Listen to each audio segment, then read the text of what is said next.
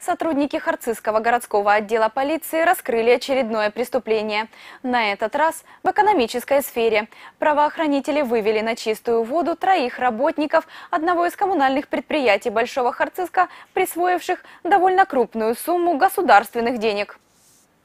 Оформление платежей за коммунальные услуги через кассу соответствующей конторы для многих жителей Харциска или, скажем, Зугреса давно стало обычным делом. Каково же было удивление абонентов одного из коммунальных предприятий, когда в ходе очередной сверки они попросту не обнаружили денег на своих лицевых счетах. Чтобы выяснить, куда исчезают платежи, получатели услуг обратились в Харцизский городской отдел полиции. Сотрудниками сектора по борьбе с экономическими преступлениями и коррупцией выявлено хищение денежных средств из кассы одного из предприятий города. Сумма ущерба составила около 180 тысяч рублей.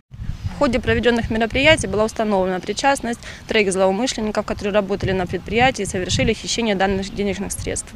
Расхитителями оказались кассир и два мастера коммунального предприятия. Злоумышленники уже сознались в растрате.